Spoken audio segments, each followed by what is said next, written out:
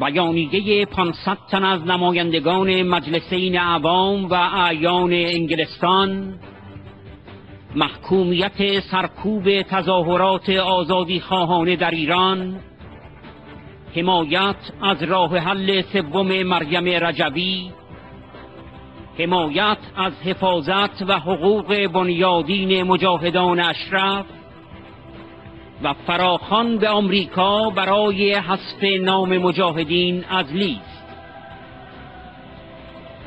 بیانیه ایران.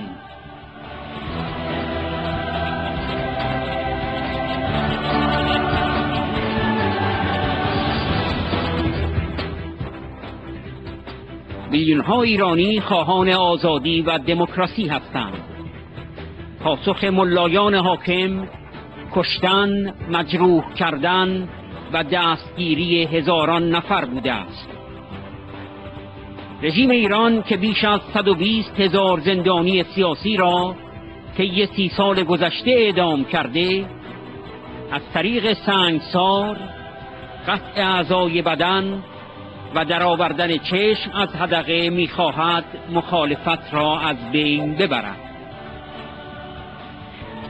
این رژیم مدعی است که حمایت از اپوزیسیون مجاهدین خلق محاربه یعنی جنگ با خدا محسوب می شود و مستوجب اعدام است این رژیم برای متوقف کردن تظاهرات طرفدار دموکراسی به عراق فشار می آورد تا 3400 پناهنده مخالف رژیم در کمپشرف را از میان بردارد.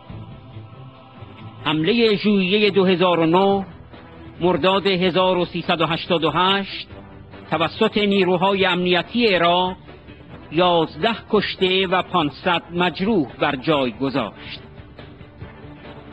اما مردم در خیابانها برخواست خود برای آزادی و حقوق بشر و تغییر رژیم پافشاری می کنند. در حالی که اعضای مجاهدین در کمپ اشرف با تهدید حملات و اخراج توسط نیروهای عراقی روبرو هستند ما از دولت آمریکا می خواهیم بر اساس همان مدارکی که دادگاه های انگلستان و دادگاه های اروپایی را تشویق کرد آنها را از لیست خارج کنند.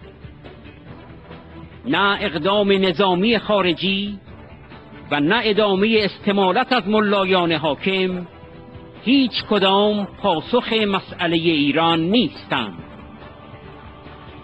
ما از راه حل سوم خانم مریم رجوی برای تغییر دموکراتیک در ایران حمایت می کنیم و از دولت بریتانیا اتحادیه اروپا و شورای امنیت سازمان ملل متحد می خواهیم با اتخاذ اقدام فوری برای آزادی زندانیان سیاسی و احترام به حق اعتراض در ایران اقدام کنند.